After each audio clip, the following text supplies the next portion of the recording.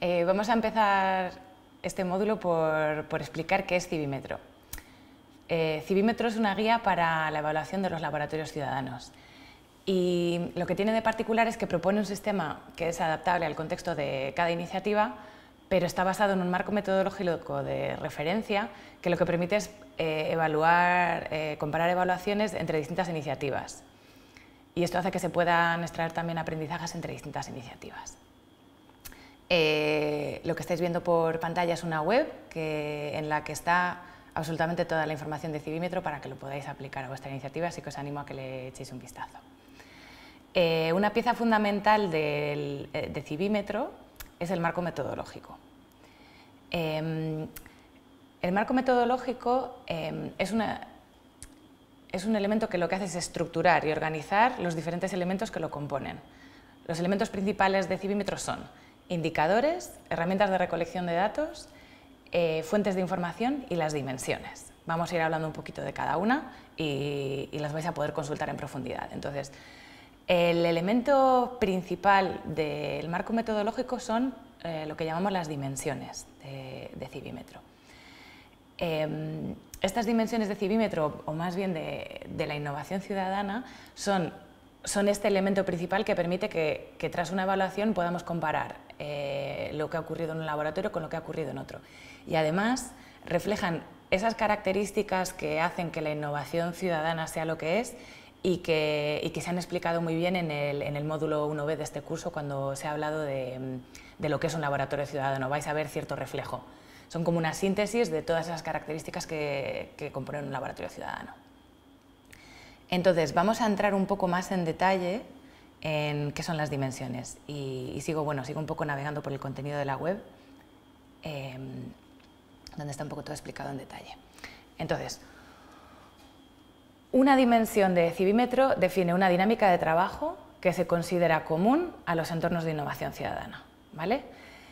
Eh, y hay un factor muy importante y es que estas dinámicas, estas dinámicas que, describen, que describe cada dimensión, que tenemos siete, son habituales pero no condicionantes. ¿Qué significa? Que, que, no todas las siete dimensiones son siempre relevantes para, para todos los entornos de innovación y, y, además las que son relevantes no lo son en la misma medida. Y, y este es uno de los ese es uno de los factores que hace que, que Civímetro se adapte a cada iniciativa, no es una receta que se aplica tal cual a todos los sitios. ¿vale? Em, entonces, ¿qué pasa cuando no todas las iniciativas encajan, eh, no todas las dimensiones encajan con Civímetro? ¿no? Em, eh, nosotros hemos establecido un poco una, regla, pues una regla bastante sencilla que consideramos que una iniciativa tiene un buen encaje con Civímetro. ¿Y, qué significa tener un buen encaje? Significa que, tiene sentido utilizar Civímetro para evaluar esta iniciativa. Tiene un buen encaje si al menos cuatro de esas dimensiones son relevantes para los objetivos propios que tiene la iniciativa eh, y también para sus maneras de hacer si, el encaje es menor, si, de las siete dimensiones de civímetro que nosotros tenemos definidas, solo hay dos o tres que sean relevantes para esta iniciativa, porque la iniciativa realmente tiene el foco en otro lugar, igual es más interesante buscar otra herramienta de evaluación. Y esta es una de las primeras cosas que hay que hacer cuando uno se sienta a, utilizar civímetro. Em, aquí vemos un poquito a alto nivel lo que son las dimensiones. Eh, y las voy a enumerar muy brevemente porque de verdad ya las habéis tratado en otro módulo y, os, van a sonar. Eh, gestión distribuida es una de estas características que vemos que tienen las, iniciativas de innovación ciudadana.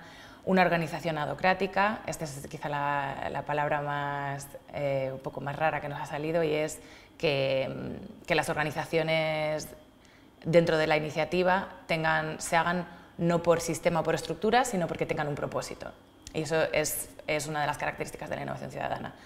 Eh, utilizar una dinámica experimental, eh, generar una comunidad inclusiva, el tema de rendir cuentas, que es fundamental, que tiene mucho que ver con la documentación. Eh, otra dimensión igual también un poco, que, que, igual requiere un poco de explicaciones al cáncer local, que, todas las que son iniciativas, aunque se hagan a nivel local, puedan extrapolarse a, a, otros lugares un poco más a nivel global y también que haya cierta permeabilidad de ver qué está ocurriendo a nivel global y traértelo a lo local. Y la última, es, eh, la última dimensión es diseño abierto, que, mm, básicamente, bueno, que, esto no sea un proyecto cerrado y propietario, sino que sea abierto. Entonces, estas son este es uno de los primeros elementos con los que hay que sentarse de Civímetro para ver mi iniciativa casa un poco con estas maneras de hacer que se describen en las dimensiones o no. Y una vez se ha hecho esto, eh, hay que empezar a plantearse en crear el, plan de evaluación, que es otro de los, un poco de los pilares de la metodología y, que, bueno, que explica bastante bien a paso a paso cómo, cómo aplicarlo.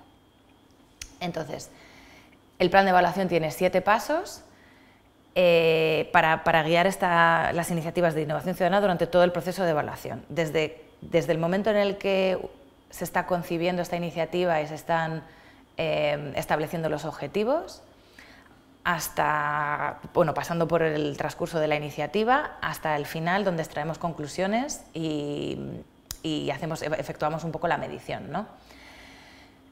Y aquí hay una cosa muy importante, al, al contrario de lo que de lo que se piensa en muchas ocasiones, em, la parte más importante de un proceso de evaluación ocurre antes de que empecemos a medir y evaluar.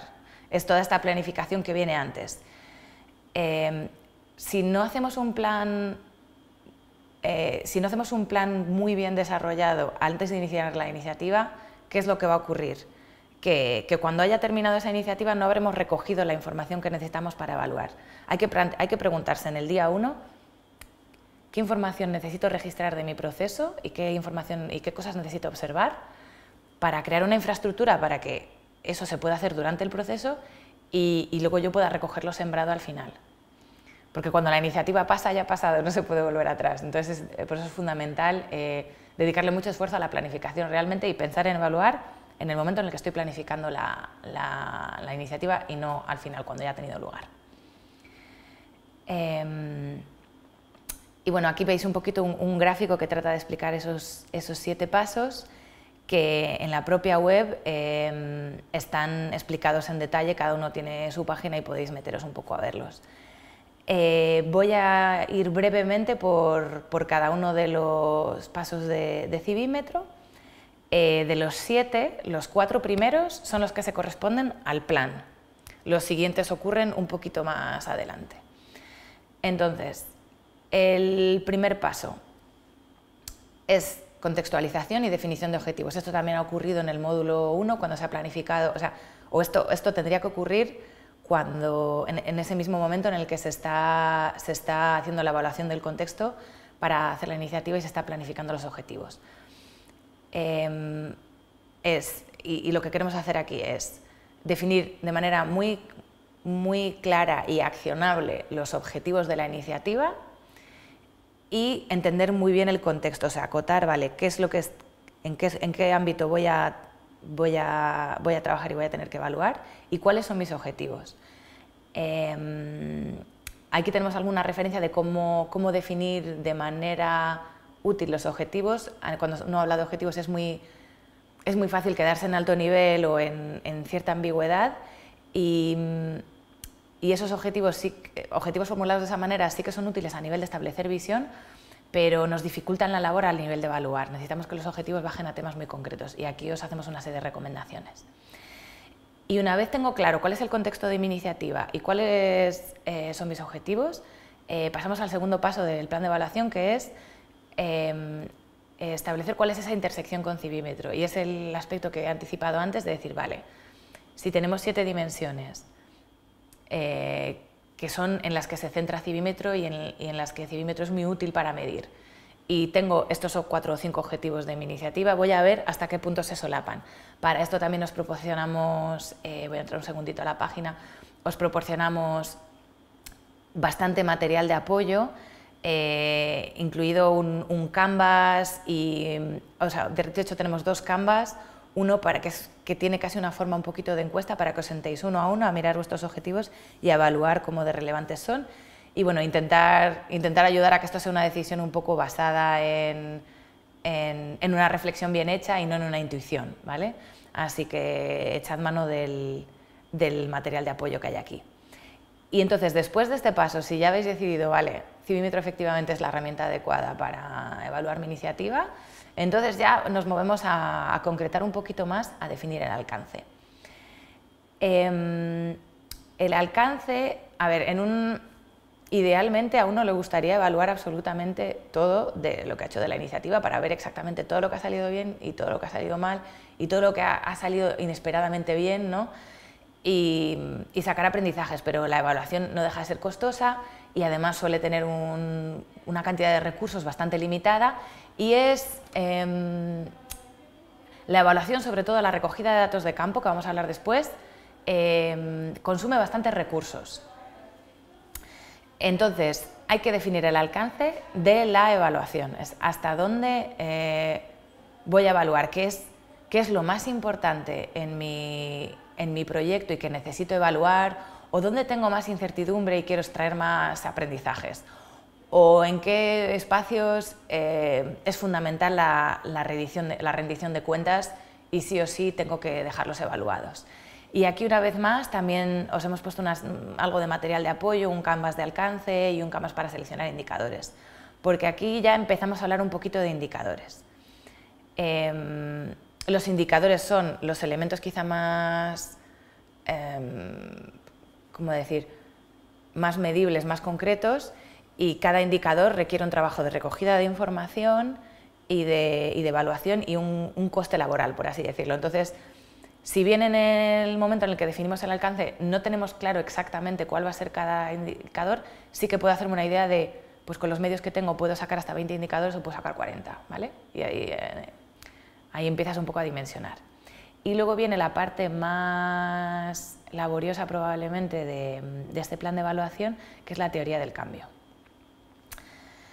Eh, la teoría del cambio, ¿qué es la teoría del cambio? La teoría del cambio es una representación de la, cadena completa de valor de la, actividad que estamos evaluando. Es un recurso que, se utiliza en muchos sistemas de evaluación y se utiliza para más cosas porque básicamente es una representación de la realidad que yo creo que voy a provocar con mi iniciativa partiendo de la base de que todas las iniciativas buscan un cambio. El cambio puede ser, y puede ser quiero que las personas aprendan, puede ser quiero que salgan cinco proyectos que tengan una vida después de esto, puede ser muchísimas cosas, pero al final cada iniciativa espera generar un cambio. Entonces, eh, la teoría del cambio que propone Civímetro eh, tiene eh, cuatro componentes, o bueno, o, cuatro pasos, porque como, como bien hemos dicho es una cadena de valor. Eh, comienza por un proceso, los procesos eh, generan unos productos, los productos provocan unos resultados y, algunos de estos resultados generan unos impactos. Muy brevemente, para aterrizarlo en algo un poquito más concreto y fácil de entender, em, un laboratorio, por ejemplo, en una biblioteca que tenga que ver con educación y con formación, ¿no?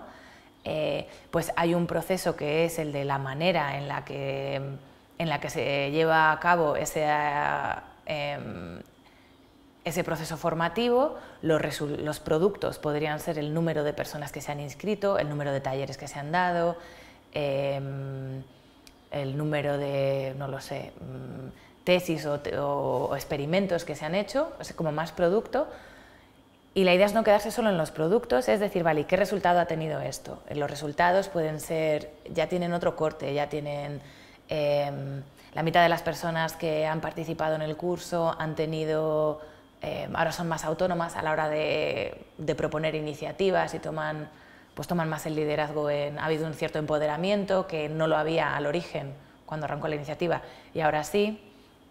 Y el impacto, que es lo más escurridizo, eh, se refiere, y hablaremos un poquito más de él más adelante, se refiere a, em, de, todos los resultados que ha habido, cuáles realmente puedo atribuir a mi actividad y no a otras del contexto. Entonces, cuando tú haces un plan de evaluación tienes que plasmar lo mejor que puedas esta cadena de valor, porque es la que te va a decir qué información tienes que recoger a lo largo del proceso para, hacer una buena evaluación. Em, una vez más, aquí tenemos una serie de referencias ya no creadas propias por nosotros, sino que hemos encontrado fuera, porque la teoría del cambio es una herramienta que no nos la hemos inventado nosotros y que lleva funcionando mucho tiempo y que, funciona súper bien. ¿vale? Eh, y la última cosa que tenemos que hacer en nuestro plan de evaluación es crear la infraestructura de datos.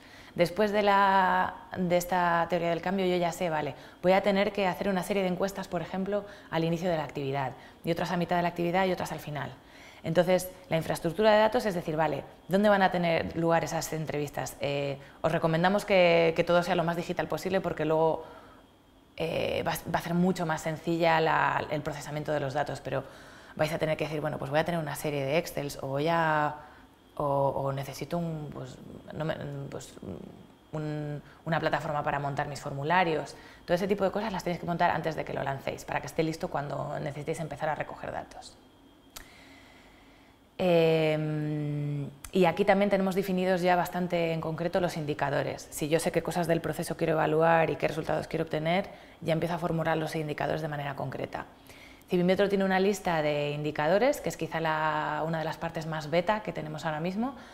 Hemos propuesto una, una lista de indicadores que también está disponible para que la descarguéis en, en una hoja de cálculo y de esa manera que, que, si podéis reutilizar algunos de los que hayamos propuesto, pues bueno, un poco de trabajo que os podéis ahorrar y, lo que sí que anticipamos es que probablemente las iniciativas necesiten crear sus, un porcentaje interesante de, de indicadores ad hoc porque, porque cada iniciativa es un mundo. Y hasta aquí el plan de evaluación.